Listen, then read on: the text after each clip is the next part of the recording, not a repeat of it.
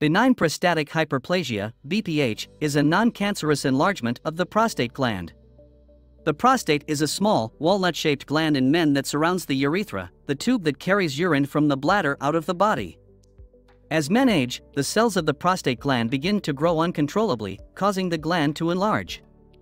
This can cause urinary symptoms such as a weak stream, dribbling, an urgent need to urinate, and frequent urination.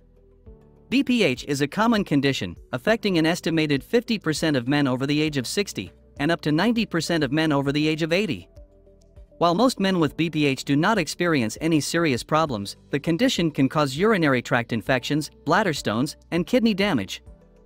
There are several surgical treatments for BPH, but they come with a risk of side effects such as erectile dysfunction and incontinence. Fortunately, there are now non-surgical treatments available that can help reduce the symptoms of BPH without the risk of side effects or complications. This video shall dwell on three non-surgical treatment options for BPH. But before we continue, we kindly suggest you subscribe and turn on the notification bell icon so as not to miss any of our videos. Thank you. Here are three non-surgical treatment options for BPH. 1.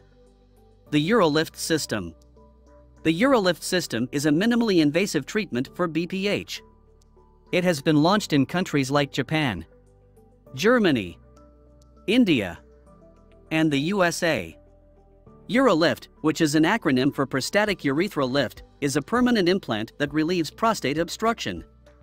The Urolift system treatment uses small implants to hold open the obstructed pathway that's blocking urine flow.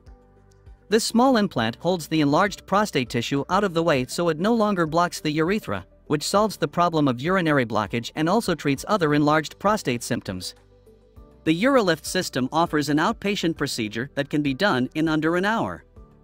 Unlike other treatments for benign prostatic hyperplasia that might involve those sexual side effects, Urolift does not affect a man's ability to have an erection or to ejaculate normally. Again, the Urolift system has proven to be durable, with about 87% success rates after 5 years.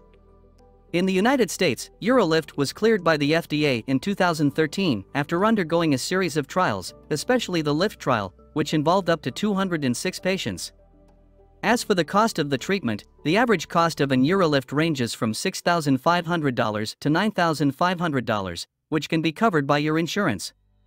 To know more about this treatment option, we suggest you check out the Urolift website. 2. Prostatic artery embolization.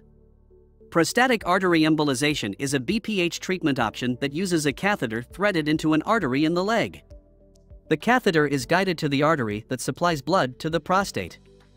Then, tiny beads are injected into the artery, which causes a temporary blockage to the blood supply to the prostate. This temporary loss of blood supply to the prostate subsequently causes the prostate to shrink, relieving symptoms. This technique does not come with negative side effects like erectile dysfunction. 3. Rezum therapy for BPH. The Rezum therapy uses water vapor to shrink enlarged prostate. It works by delivering very small amounts of steam to the enlarged prostate. This process damages the cells, causing obstruction, thereby reducing the overall size of the prostate and relieving symptoms of BPH.